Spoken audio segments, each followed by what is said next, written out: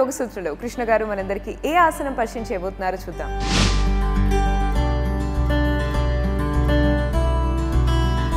Marjorie ఆసనం. ఈ ఆసనాన్ని మనం బ్లాక్ సహాయంతో చేసాం ఈ ఆసనం చేయడం వలన ఛాతి బాగా ఎక్స్పాండ్ అవుతుంది. ఛాతిపై మంచి స్ట్రెచ్ పడుతుంది.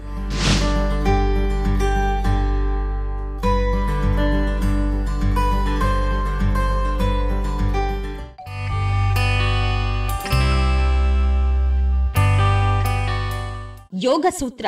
ఈ రోజు ఉదయం ఏడు గంటలకు సాయంత్రం ఆరు గంటలకు రాత్రి పది గంటలకు